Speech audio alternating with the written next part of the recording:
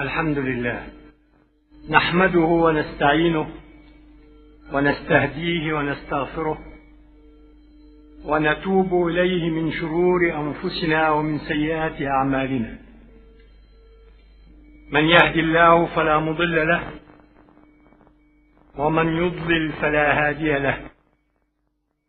أشهد أن لا إله إلا الله وحده لا شريك له. صدق وعده ونصر عبده وأعز جنده وهزم الأحزاب وحده. وأشهد أن سيدنا محمدا عبده ورسوله. إمام المجاهدين. هذا الذي كان إذا حمي الوطيس واشتدت الحرب اتقى الأبطال به وتترسوا به وكانوا من خلفه وكان أقربهم إلى المعركة. اللهم صل وسلم وبارك على هذا النبي الأمي وعلى آله الأطهار وعلى أصحابه ومن اتبع هديه إلى يوم الدين. وبعد أيها الإخوة المؤمنون في مثل هذا اليوم من السنة الثانية للهجرة كان المسلمون يعسكرون في بدر وفي بدر ذكر الله سبحانه وتعالى أسبابها أسباب المعركة فقال سبحانه أذن للذين يقاتلون بأنهم ظلموا. وإن الله على نصرهم لقدير. الذين أخرجوا من ديارهم بغير حق إلا أن يقولوا ربنا الله. والأسباب التي ذكرها الله تتمثل في ثلاثة أسباب. ظلموا وقوتلوا وأخرجوا من ديارهم. وهذه هي نفس الأسباب لهذه الحرب الحالية. لقد قوتلنا وظلمنا وأخرجنا من ديارنا بغير حق. فالأسباب هي الأسباب والظروف هي الظروف والملابسات هي الملابسات. اللهم انتصر لنا كما انتصرت لأهل بدر. اللهم بدرا أخرى. اللهم بدرا أخرى تنصر فيها أولياءك وتذل فيها أعداءك. اللهم انصر أولياءك الآن كما نصرتهم من قبل. أيها الإخوة المؤمنون وفي بدر التف المسلمون حول القائد الأعلى. وقال قائلهم في صدق وإخلاص يمثل رأي المهاجرين يا رسول الله امض لما أراك الله فنحن معك. والله لا نقول لك كما قالت بنو إسرائيل لموسى اذهب أنت وربك فقاتلا إنا هنا قاعدون كلا وإنما نقول لك اذهب أنت وربك فقاتلا إنا معكما مقاتلون. والله لو سرت بنا إلى برك الغماد وبرك الغماد مكان بأقصى اليمن. والله لو سرت بنا إلى برك الغماد لجالدنا معك من دونه حتى تبلغه. ويقوم ممثل الأنصار. فيقول يا رسول الله لقد آمنا بك وصدقناك وشهدنا أن ما جئت به هو الحق وأعطيناك على ذلك عهودنا ومواثيقنا. فامض يا رسول الله لما أراك الله. فنحن معك. والله لو استعرضت بنا هذا البحر فخضته لخضناه معك. ما تخلف منا أحد. إنا لصبر في الحرب صدق في اللقاء. ولعل الله يريك منا ما تقر به عينك. فسر على بركة الله. ونحن بحمد الله على طريق أهل بدر نلتف حول القائد الأعلى ونستمسك بقول رسول الله صلى الله عليه وسلم ستكون هنات وهنات أي ستكون أمور وأمور أي ستكون فتن. فمن أراد أن يفرق أمر هذه الأمة وهو جميع فاضربوه بالسيف كائنا من كان. ونحن نضرب بالسيف. من كان عاملا من عوامل التفرقة أو من حاول أن يكون عاملا من عوامل التفرقة على سنة رسول الله صلى الله عليه وسلم. أيها المؤمنون وأهل بدر كانوا في رعاية الله كانوا في عنايته كانوا في رعاية الله الدقيقة وكانوا في عنايته التامة. انظروا إلى مدى العناية. إن الأرض التي كانوا يسيرون عليها كانت ترابا تغوص فيه الأقدام. وكانوا هم متعبين. ماذا فعل الله عناية بهم؟ إذ يغشيكم النعاس أمنة منه. ألقى عليهم النعاس لكن السير في الأرض. وينزل عليكم من السماء ماء ليطهركم به ويذهب عنكم رجز الشيطان وليربط على قلوبكم ويثبت به الأقدام. وماذا أيضا من عناية الله سبحانه وتعالى بأهل بدر؟ إذ يغشيكم النعاس أمنة منه. ويقول الله سبحانه وتعالى أيضا وإذ يريكهم في منامك قليلا.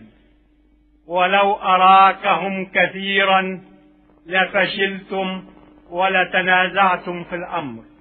كان يقلل سبحانه عدد المشركين في أعين المسلمين حتى لا يفزعوا وحتى لا يضطربوا. وماذا أيضا؟ ماذا أيضا؟ من عناية الله بأهل بدر. إن الله سبحانه وتعالى يقول للمسلمين إنهم لم يقتلوهم ولكن الله قتلهم.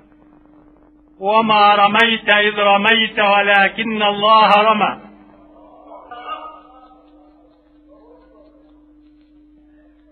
وماذا كان أيضا من عناية الله سبحانه وتعالى بأهل بدر؟ إنه سبحانه أوحى إلى الملائكة أن يثبتوا قلوب المسلمين وتولى هو سبحانه أن يلقي في قلوب الذين كفروا الرعب ثم خاطب المسلمين قائلا فاضربوا فوق الأعناق واضربوا منهم كل بنان. هذه كانت عناية الله بأهل بدر. ونحن أيها الإخوة المؤمنون نلاحظ عناية الله سبحانه وتعالى بنا في هذه المعركة. لقد كان مقدرا أن يستشهد في العبور نحو خمسة عشر الفا كم استشهدوا في عبور القناة بعد أن كان هذا التقدير؟ أربعة عشر ألف كلا ثلاثة عشر ألف كلا عشرة آلاف كلا ثمانية آلاف كلا. إن الذي استشهد في العبور أقل من مئتين.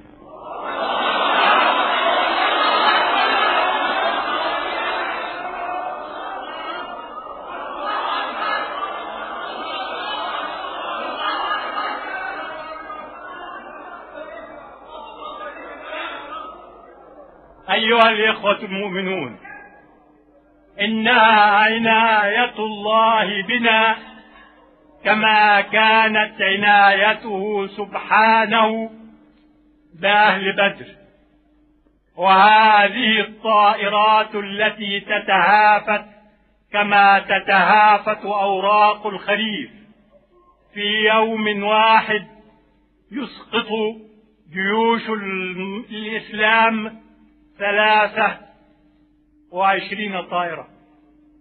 إنهم أسقطوا منهم في نصف ساعة عددا كبيرا. إنها عناية الله. إن الله سبحانه وتعالى معنا. وإنه سبحانه وتعالى ناصرنا. وإنه سبحانه وتعالى ولينا. أيها الإخوة المؤمنون إن ظروف غزوة بدر هي الظروف الحالية.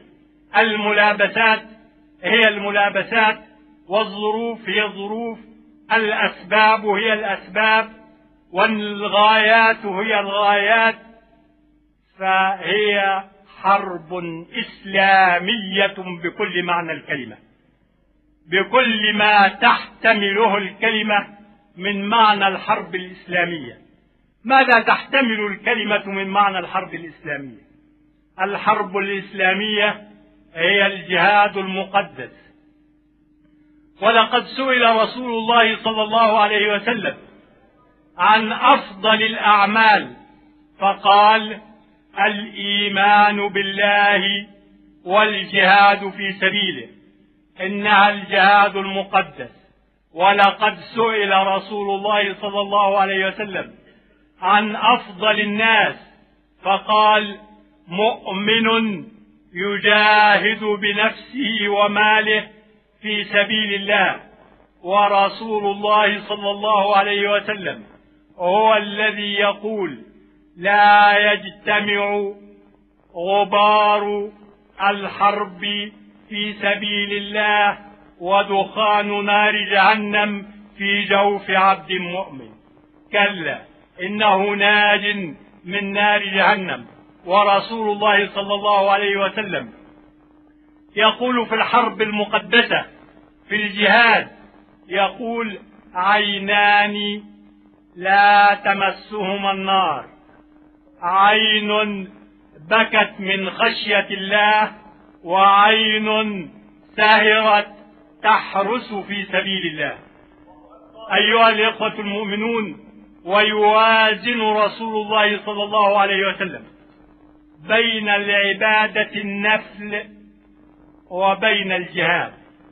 وذلك أن أحد الصحابة مر في الصحراء بعين من ماء عذبة فقال في نفسه سأمكث بجوار هذه العين. أشرب من مائها وآكل من نباتات الصحراء وأستمر أصوم النهار وأقوم الليل. ثم ذهب إلى رسول الله صلى الله عليه وسلم يستشيره ماذا قال له رسول الله صلى الله عليه وسلم؟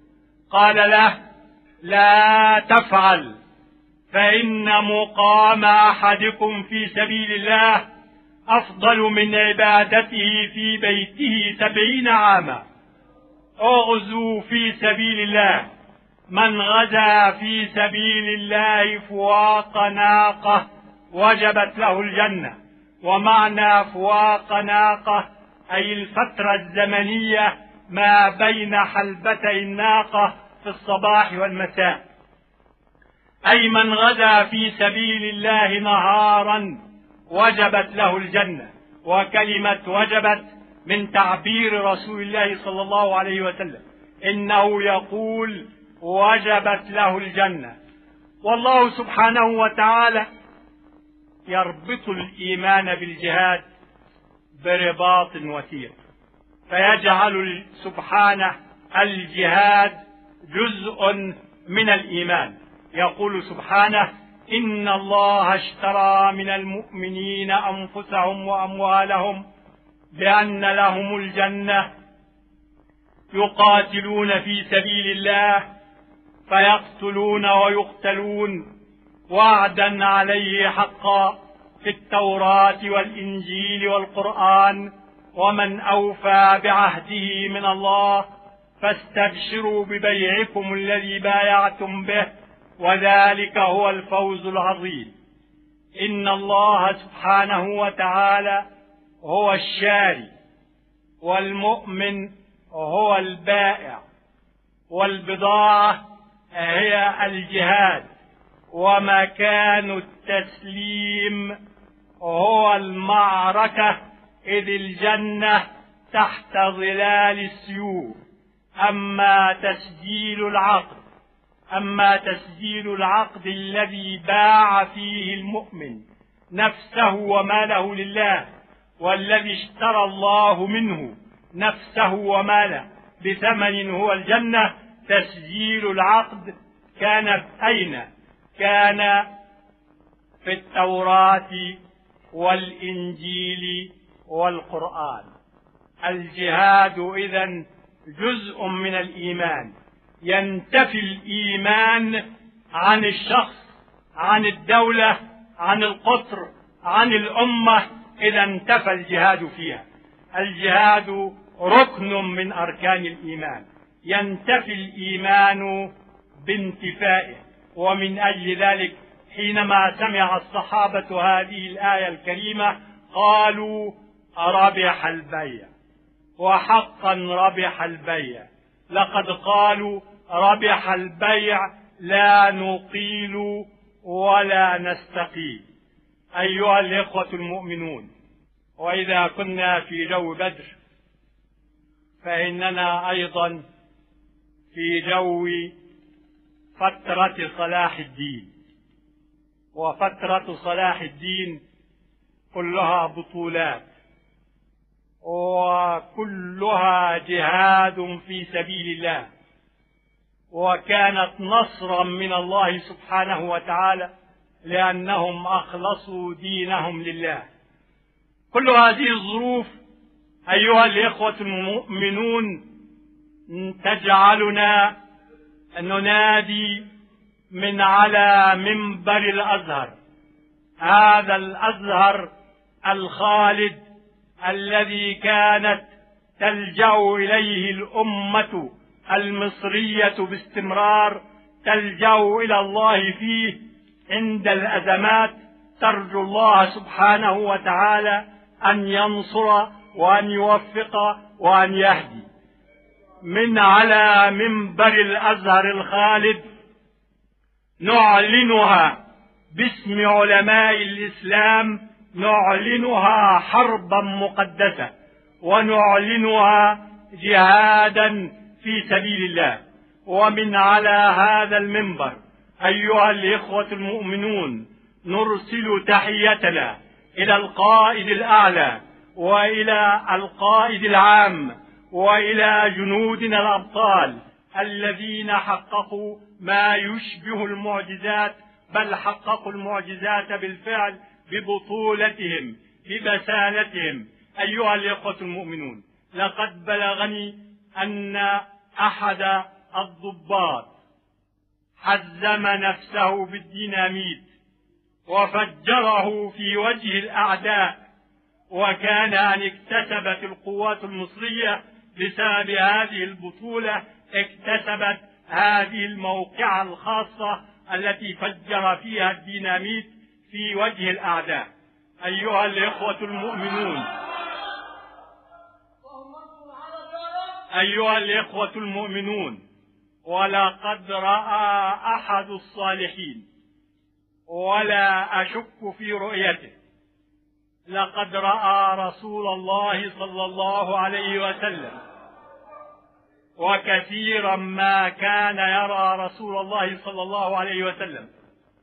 رأى رسول الله صلى الله عليه وسلم ذاهبا إلى المعركة مع بعض مع بعض علماء الإسلام.